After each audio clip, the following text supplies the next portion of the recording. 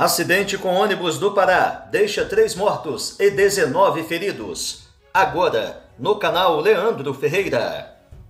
Um acidente na BR-153 entre Mira Norte e Barrolândia, na região central do Tocantins, deixou três pessoas mortas e 19 feridas na noite do último sábado, dia 24 de junho.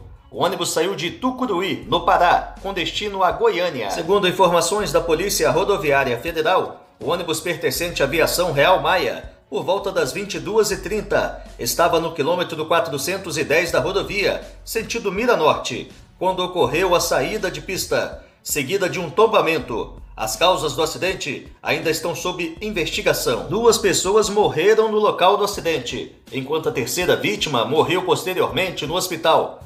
As autoridades ainda não forneceram detalhes sobre o estado de saúde dos 19 passageiros feridos que foram atendidos por ambulâncias dos municípios e pelo Serviço de Atendimento Móvel de Urgência, SAMU da região.